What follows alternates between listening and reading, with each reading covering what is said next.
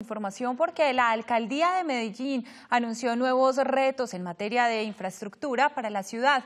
Es así como se hacen proyectos ambiciosos que contempla desde la construcción de una megacentro de entretenimiento hasta la remodelación de 12.000 obras.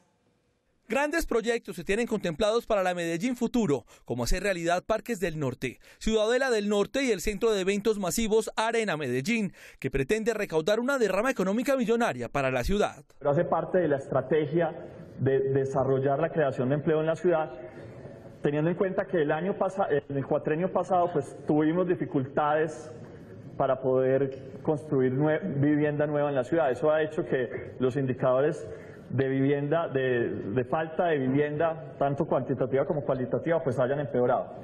Un billón de pesos se invertirán inicialmente para iniciar con los proyectos. También se espera el apoyo del gobierno nacional y la empresa privada. La remodelación del estadio Atanasio Girardot, la ciclorruta norte-sur y la construcción de una gran villa olímpica también están contemplados.